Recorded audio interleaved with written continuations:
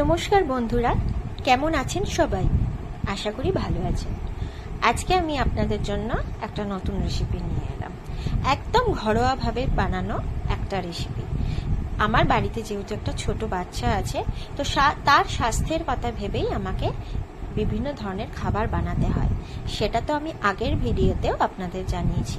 তো আজকে আমি যে রেসিপিটা করতে যাচ্ছি, তার উপকরণ হিসাবে আমি নিয়েছি চালের গুঁড়ো, সুজি, টক দই।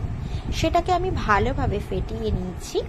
তারপরে আমি এখানে নিয়েছি সিদ্ধ করা আলু, একটু পেঁয়াজ, একটু আদা বাটা, দুটো শুকনো লঙ্কা আর কারি পাতা। তো আমি আলুটাতে নুন, হলুদ আর জিরে গুঁড়ো দিয়ে ভালোভাবে মেখে নিলাম। কড়াইতে তেল গরম হয়ে গেলে সামান্য পরিমাণে সর্ষে, কালো সর্ষে আমি এখানে ইউজ করেছি। দুটো শুকনো লঙ্কা, আদা আর কারি পাতাটাকে একটু আমি ফোড়ন হিসাবে ব্যবহার করে ভেজে নিলাম।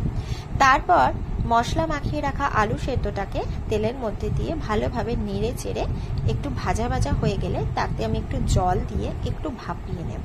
যতক্ষণ না একদম জিনিসটা মাখা মাখা হয়ে যায়।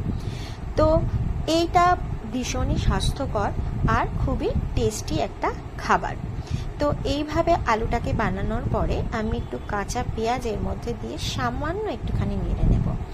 তারপর আমি একটা চাটু ব্যবহার করেছি, তাতে আমি সাদা তেলই ইউজ করলাম। তারপর ব্যাটারটাকে ভালোভাবে দিয়ে যেভাবে আমরা সরু চাকলি বানাই বা ধসা বানাই, সেভাবেই একটু পাতলাভাবে চারিদিকে ছড়িয়ে দিলাম। আমি খুব একটা পাতলা করতে পারিনি। তো বন্ধুরা, তোমরা যদি পারো আরও পাতলা করতে, তাহলে জিনিসটা আরও টেস্টি হবে। তো এখানে পুর হিসাবে আমি বানিয়ে রাখা আলুটাকে দিয়ে দিলাম। এবার দেখে নেব উল্টো দিকটা ভালোভাবে ভাজা হয়েছে কিনা। ভাজা হয়ে গেলে আমি আস্তে আস্তে এইভাবে মুড়ে দেব।